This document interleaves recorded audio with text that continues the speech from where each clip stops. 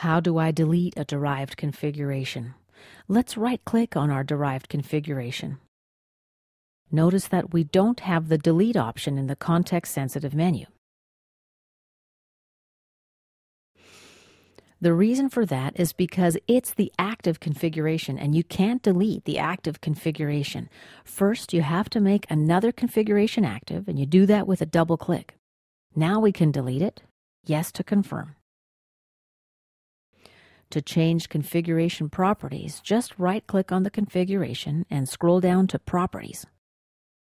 And let's cancel out of this dialog window. Currently, our default configuration is active. Let's add a feature to this configuration.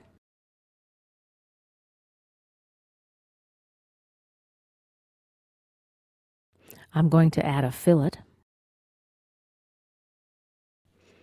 And let's create a couple fillets to this edge and this edge, accept our default values.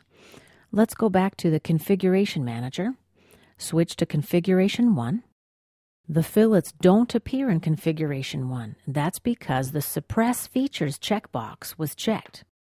Now in configuration 2, we didn't check that option, so the fillet is suppressed only in configuration 1, not in configuration 2.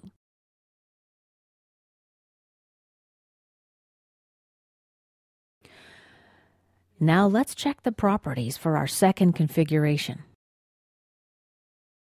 Right-click, Properties, Let's check Suppress Features and click OK. Let's take a look at the relation between a parent configuration and its derived configuration. I'm going to add a derived configuration, and I'll give it a name, der-config OK. Now this is our active configuration. Let's go back to the default configuration Let's change the hole diameter, let's say to 30 millimeters. OK. Click OK to accept the dimension and click the Update button. Now let's make our derived configuration the active configuration with a double click. As you see, the hole diameter has updated in our derived configuration as well. Let's change the hole diameter in our derived configuration too. Let's make it 10 millimeters. Before I click OK, I'm going to apply it to this configuration only, then click OK. And click OK to exit the dimension, rebuild, and save. Let's go to the parent configuration. I'm prompted to rebuild. The hole diameter didn't change in this configuration. However, as you remember, I chose to apply my new dimension to this configuration only. Let's accept and accept again and rebuild. As you see, the hole stays the same. Let's double click on the hole again. In the dimension input window, we've got the option to link this dimension to the parent configuration. Let's accept and rebuild. But this, of course, is not a permanent link by any means.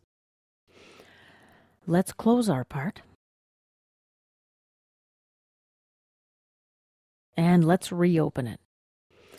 By the way, be sure the quick filter for parts is selected. Let's select part 2.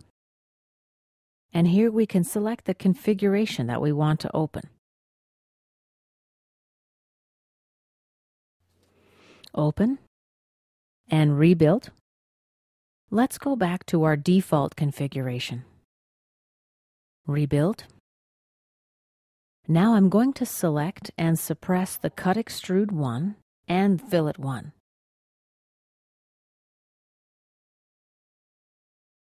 I can do that from the right-click contextual menu, or I can go to Edit.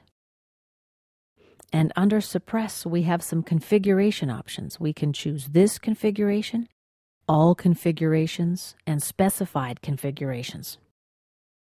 Let's specify the configurations. Leave the default configuration selected and let's click OK.